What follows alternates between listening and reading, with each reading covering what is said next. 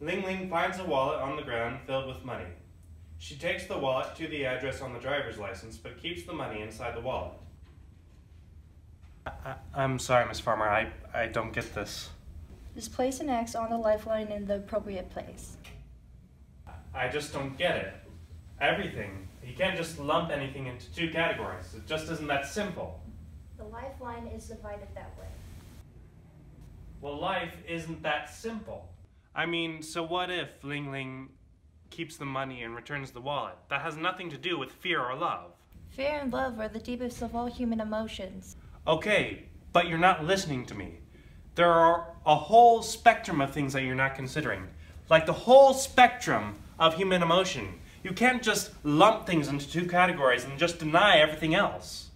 If you don't complete the assignment, you'll get a zero for the day.